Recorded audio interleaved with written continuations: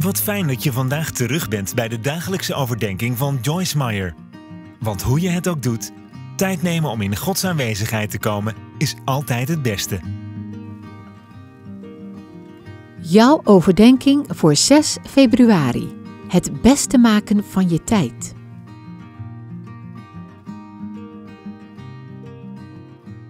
Het Bijbelvers voor vandaag staat in Efeziërs 5, vers 15 en 16.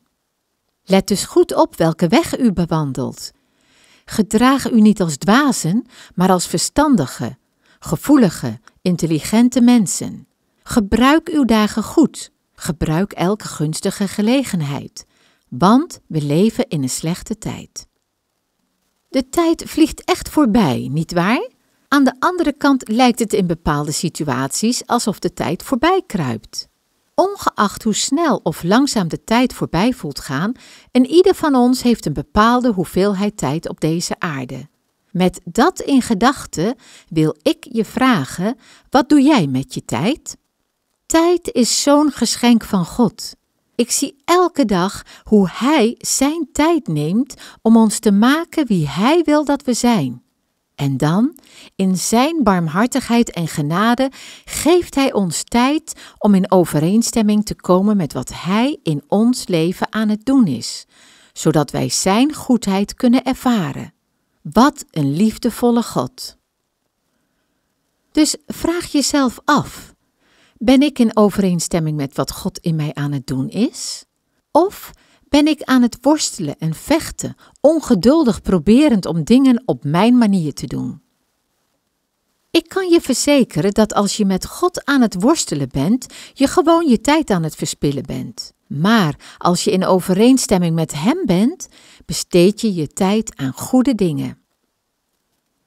Onthoud, God is genadig. Hij neemt zijn tijd. We denken misschien dat Hij te veel tijd neemt. In Zijn goedheid is Hij gewoon op ons aan het wachten om in lijn te komen met het werk dat Hij in ons aan het doen is. Hij zal niet haasten. Hij is geduldig. Onze worstelingen vertragen het proces alleen maar.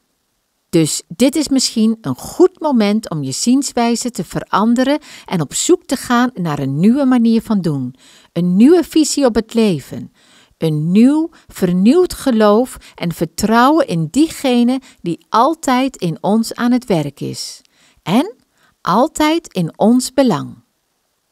Mijn bemoediging voor jou is op God te vertrouwen en tijd te besteden om in overeenstemming te komen met wat Hij in je leven aan het doen is. Laat Hem je doel bepalen. Weet in je hart dat Hij grote plannen heeft en ongeacht hoeveel tijd Hij neemt, Hij houdt van je en Hij heeft altijd jouw belang voor ogen. Ik wil je uitnodigen om het volgende gebed met mij mee te bidden. Heer, ik wil mijn tijd niet verspillen aan het vechten met U. Ik wil mijn tijd besteden in overeenstemming met het grote werk dat U in mij aan het volbrengen bent. Ik dank U dat toen ik mijn tijd aan het verspillen was, U mij altijd eraan herinnerde dat U van mij houdt en dat Uw timing altijd het beste is. Amen. Fijn hè? Even stil zijn en luisteren naar een overdenking. Houd je vast aan Gods woord. Tot morgen. Mocht je anderen ook willen attenderen op deze podcast, abonneer je dan op ons kanaal en stuur deze overdenking door aan iemand die vandaag een bemoediging kan gebruiken. Alvast bedankt.